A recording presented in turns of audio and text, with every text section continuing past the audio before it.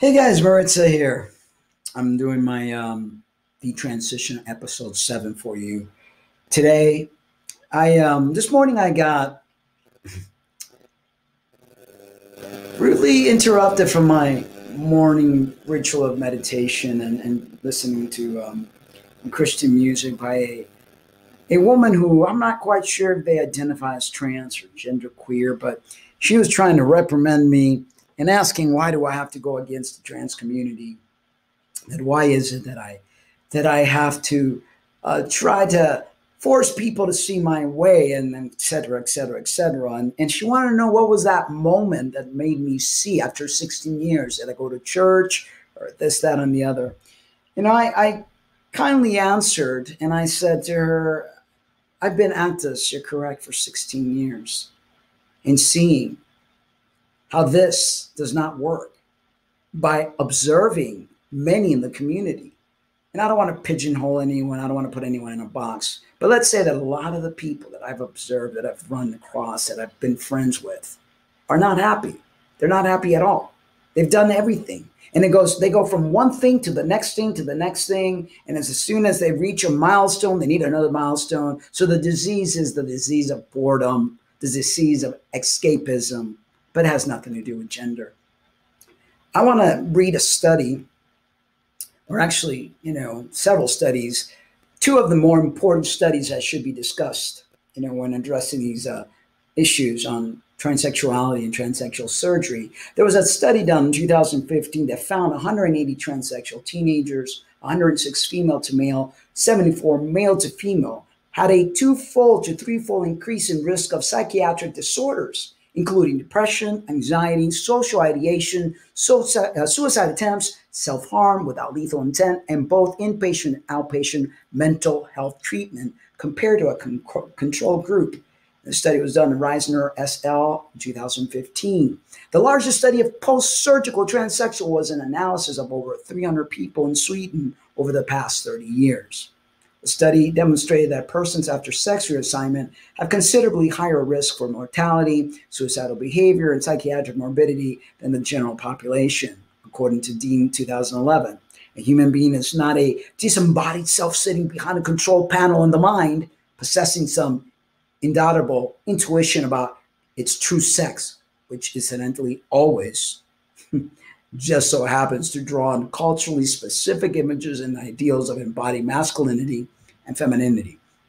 We are our bodies, and these bodies are, aside from some rare intersexual exception, male or female. Gender is a social construct. Okay, we have to realize that it's made up. It's what we created to get people to fit in little boxes. Right. So I wrote this article um, that was pretty much, um, I guess, inspired by this morning's conversation.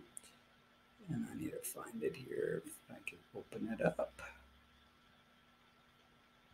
Here we go. The article is entitled Missing the Mark The Beast in Control. So I, I start talking about this girl on the, on the uh, blog. So I got approached by a gender confused, possibly FTM identified person on Facebook who was from Peru. She tries to grapple with me, informing me that I appear angry and that Christians need to teach about God's love. Well, first of all, I'm a follower of Yeshua, of Christ. I don't much like labels. Have been living by labels most of my life, therefore I'm done with them. I do share many beliefs with my brothers and sisters in the Christian faith, but I want to but I don't want to be labeled a Christian because not all Christians follow the teachings of Christ the way that I feel should be followed. I've been reading my Bible and also started reading the Nag Hammadi scripture. I'm seeking my Father and I want to live the remainder years according to his laws. She asked me what led to my change and why I'm going against the trans community. I answer the trans community in and of itself are the ones that created my change and how I viewed the whole situation. The list for this is a mile long. No one's ever happy. And I find it offensive on how they find it appropriate to force this on everyone. They badger the feminists and the Christians for disagreeing with their trans ideology. Yet it's so funny because they can't see what they themselves do. Yet they love to point fingers and ram their views down everyone's throats. I proceeded to tell her that after 16 years of living as a trans man and 22 years as a lesbian, a total of 36 years in the LGBT lifestyle, I find that there is no true happiness on either road, nor is there any true functionality based on how my life turned out and what I see from others. Now, I can't and I won't make a blanket statement. I've been known to do so and I've been shamed for it. But I can say that what I've experienced and seen is that it does not work. Okay? It doesn't work. People become homeless, lose their jobs, family, children, and friends. They get ridiculed by society. Some turn to drugs, alcohol, and are promiscuous. They get AIDS and other venereal diseases. The lifestyle does not does take a toll on people. Now I know many hate to see the word lifestyle attached to their preferences. However, if we are honest, and I hope we can be, the definition of lifestyle goes as follows the way in which a person or group lives, a way of life, a way of living, a manner of living that is not considered the norm. A typical scenario is a man and a woman. They reproduce and the cycle continues. Furthermore, the definition reads the habits, attitudes, tastes, and standards that together constitute the mode of living of an individual or group who partake in an unhealthy lifestyle choice, lifestyle advertising, etc., etc., etc. Note, I'm not judging, just pointing out facts, truth, and observations, which neither are judgment or hate. We need to stop gaslighting and intimidating people who do not agree with you. It does not work and only makes people angry and want to rebel against you further. Now, let's really dive into this, shall we? Most gays and lesbians come from a dysfunctional home, or at least a home where parents were not willing to understand that their son or daughter was born different. Now, different does not mean born in the wrong body or that you need to be attracted to the same sex because you don't feel like a regular boy or girl. Usually the shaming, sexual abuse, lack of parental communication and or support can lead us to the path of experimentation with the same sex. For women seeking the affection of one's mother, who at times lacked the skill to be as we saw fit, this in no way means our mothers are bad mothers. It means that as a child with neurological and psychological needs, we need it more. There are many factors that figure into the sexual and gender um, system that does not have your best interest.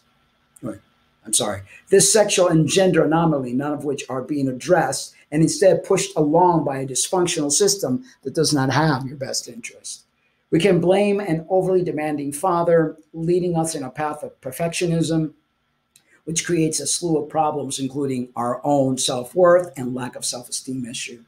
But to claim that we are born this way is a false claim. We develop coping skills based on our surrounding, based on our treatment, and based on how we see the world.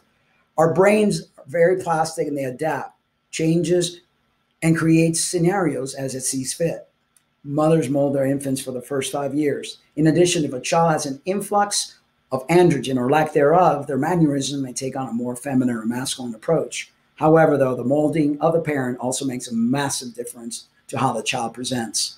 But again, this does not mean you're born wrong or need to have sexual relationship with the same sex. The sexual attraction is, is led by how a person feels they fit into the world or based on the traumas we have endured. You must be honest with yourself. Did you rebel when your mother pushed on you? The more feminine things, you know? I know that happened to me. When you were experimenting with more boy types toys or clothing, this is normal for a child to experiment. If a parent places too much emphasis on this, it will make the child rebel and hence the beginning of sexual and gender confusion. If you were sexually molested, you may be having difficulty letting your guard down around men. The triggers from the molestation need to be worked on to free yourself from the aversion you have created. In my humble opinion, no one is born gay or trans. We're born with personalities and we are traumatized throughout our youth, and we therefore cope accordingly and use poor coping skills to get along with life. There are many gays and lesbians who have dropped the lifestyle and are now living happy lives as heterosexuals or asexuals. There are many detransitioners who are living as the sex they were born as. I'm here as a survivor of both both way of thinking. I was a lesbian and then a trans guy. To tell you this was not my path to take, but it was placed upon me due to many circumstances that I faced growing up. I'm glad that I was able to work through it all. And I'm here to say that you can heal. Open your heart to healing. Let Father in, and He will do the rest. You must do the work first, though. Carry your cross, heal from your childhood traumas, and keep the communication line open with your Heavenly Parent. What do you have to lose? Are you afraid of healing? Is this lifestyle so important to you? What would you be without it? The ego will take you down to the pit, it will destroy you, and it will lie to you, all to gain control over you. So I hope all that my words reach your heart. They're not meant to be critical of you, they're not meant to hurt you, they're not meant to judge you, they're meant to get you to think. It's important for us to be honest, to really be honest not to create scenarios, not to create coping mechanisms, not to, you know, to get angry at one another because you said, she said, no. Let's have an honest dialogue. I really, really, and truly want to get at the heart of all of this. And I want this fiasco because this whole trans agenda has become a fiasco to come to an end there are people out there that are intersex. There's no doubt about that. But intersex and transsexuality are two different things, not even close. Intersexual people have chromosome anomalies. Transsexual people have mental, I don't want to use the word disorder, but have mental angst because of childhood trauma, because of the way their brain was developed according to their environment. And now they're they're in this flight or fight response because they're trying to find where they fit in society.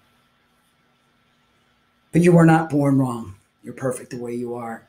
You're loved. Now the question is, do you love yourself? And do you love yourself enough to leave yourself alone and to work through your issues that led you to where you are today? All right, guys, I appreciate you very much. I love you all every single one of you. But please remember to love yourselves too. Goodbye.